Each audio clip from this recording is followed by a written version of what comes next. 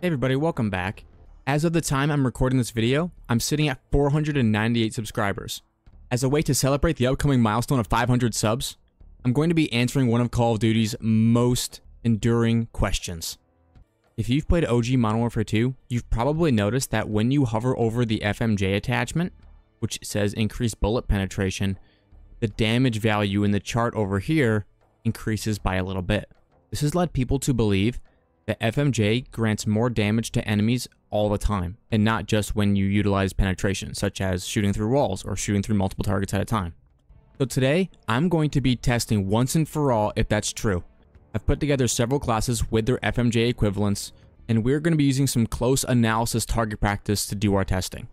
The game setup is as follows. First of all, to make it easier to get information, I've doubled max player health. It's going to allow us to see the small differences that FMJ versus not FMJ can provide. If there's no difference when there's double health for FMJ, then you're never going to see it when there's neutral health. Number two, health regeneration is none, meaning that we can take our time with these kills and be sure that my opponent is not regaining health. Number three, we've disabled perks, so no stopping power for this video. Anyways, without further ado, I'll see you guys in the lab. So here we are in the lab. We have Yo-Yo Subdog helping me out. Shout outs to Yo-Yo Subdog. Our class is this M4 with no FMJ, and we're going to be counting how many bullets it takes to kill him to the lower torso, which has a no multiplier. Alright, here we go. One, two, three, four, five, six, seven. Seven shots for the kill to the lower torso, no FMJ. Let's go ahead and run it back. One, two, three, four, five, six, seven. Seven shots, no FMJ, gets me the kill. Now we're going to aim a little bit lower to the shin and see what that does.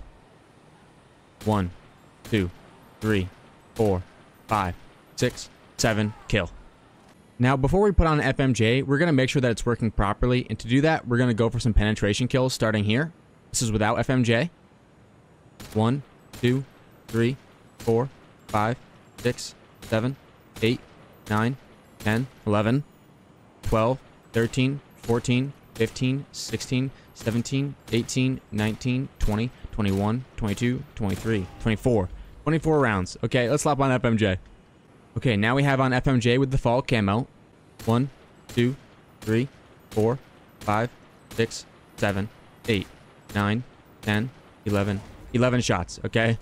11 to 24, FMJ is working as intended. Okay, let's see how FMJ does against a target not behind a wall. One, two, three, four, five, six, seven.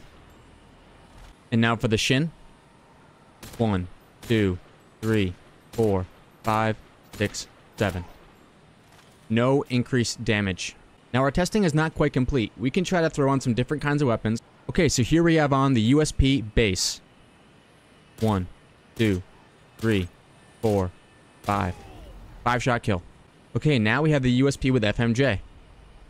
One, two, three, four, five. Five shot kill. Next we have on a weapon that shoots a lot faster with lower damage. Vector without FMJ. This should really help us because it only does 25 base damage.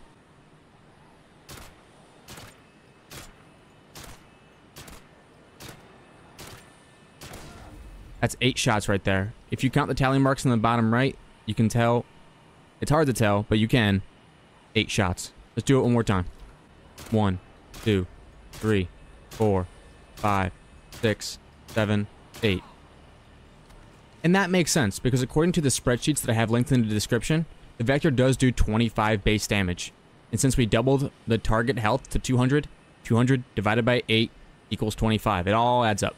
Okay, so now we have on the Vector FMJ. Let's do it. One, two, three, four, five, six, seven, eight. No difference. How about something like the G18? This is the G18 base no FMJ.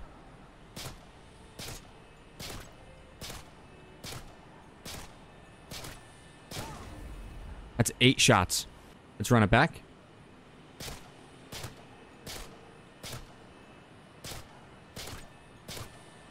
Eight shots again. Okay, let's swap to the G18 with FMJ. And let's see. One, two, three, four, five, six, seven, eight. No difference. We could do this all day. Okay, so now we have on the WA 2000. This should be doing 70 damage, meaning 210 total for three shots. One, two, three. Like that. Now we have on the WA 2000 FMJ. One, two, three. It's the same. Okay, let's get the big guns out. Here on the RPD base. Let's do it. One, two, three, four, five. Five shots to kill. One more time. One, two, three, four, five. Five shots to kill. Okay, now we have on the RPD with FMJ. One, two, three, four, five. All right, let's do a shotgun.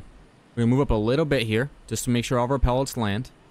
This is a striker base. One, two, three. Test it again. One, two, three. Okay, now we got the striker with FMJ. One, two, three. As you can see, regardless of what kind of weapon we use, FMJ is not increasing our total bullet damage. And that's because that's not how it's designed. When you're coding something, it's a series of yeses and nos depending on the conditions. FMJ only gets the yes condition when it goes through some sort of material or person. There is no instance in which FMJ is increasing your bullet damage until it makes contact with a surface. Okay, so to close this video out, we wanted to do a 1v1 on Rust, where the condition is first player to get a kill wins, and it has to be a bullet penetration kill with the intervention. Now, Yo-Yo Subdog doesn't have FMJ and his intervention unlocked yet, so we're gonna kill him a couple of times until he gets copycat. Our health is on minuscule. And I think that's copycat acquired. Yo-Yo Subdog has copied my class. Okay, let's do a countdown. First to get a kill. Five, four, three, two, one, go. Now, neither of us have on Ninja. The class set up as sleight of hand with lightweight and steady aim. Lightweight should help us get around faster and also aim faster for sprinting. We have to get a bullet penetration kill. Oh, come on now. Oh, okay, that was quick. We like those. GG. Thanks so much to Yo-Yo Dog for helping with this video. I hope that you're now thoroughly convinced about the properties of FMJ. I know I am, but I'm happy to have gotten this video out of the way. That's it for this video. Thank you all for watching. If you enjoyed, hit the like button, subscribe, and I'll see you in the next one. See ya!